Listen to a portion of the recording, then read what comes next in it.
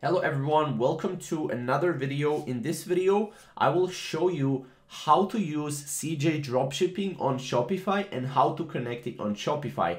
Now this is fairly simple to do. So first of all, make sure that you sign in in your CJ uh, dropshipping.com account. Make sure that you have that as well right here. Make sure you're logged in. After that, here, as you can see, are a couple of ways how you can install um, you know, Shopify store to CJ. As you can see, you can install Shopify app. So you can go to Shopify app store and here you can, as you can see, add app.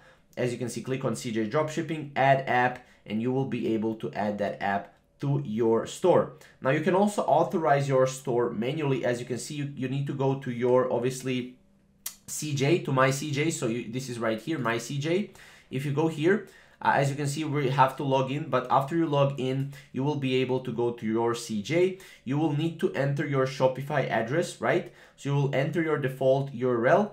Obviously, after you go to my CJ, go to authorization, Shopify, and then click add stores, and then you will be able to enter your default URL provided by Shopify, right? You can find that in your Shopify admin, right?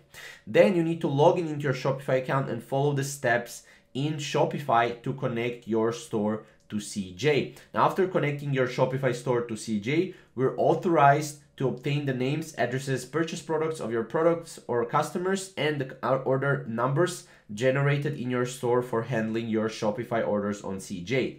So this is basically how to authorize your store manually. As you can see, this is basically you go here and you will be able to also, um, you know, um, basically search for CJ dropshipping and then you will be able to connect it to your Shopify store. Now, once you finish the connection, you'll see the pop-up of authorization success. You need to go to My CJ and then authorization to review the status of your authorized store. As you can see, after authorizing your Shopify shops, you can easily post or sourcing requests, right? Connecting the items and syncing your Shopify orders to CJ automatically.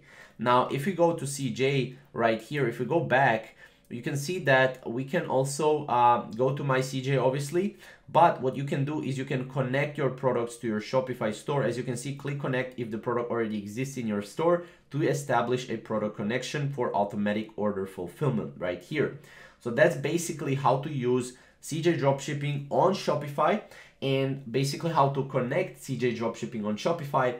If you have any questions or comments, comment down below and we'll see you in the next video. Thank you guys for watching.